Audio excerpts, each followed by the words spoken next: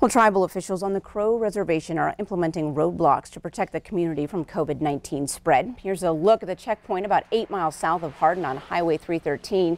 There are four of them total around the reservation. Tribal Incident Command officials say they are mostly in place to inform people about orders from the tribal government. Late last week, Crow Tribal Chairman A.J. Not Afraid issued a stay-at-home order for the reservation consistent with orders given to the rest of the state by Governor Bullock. Checkpoints are also in place to keep non-tribal members off the reservation.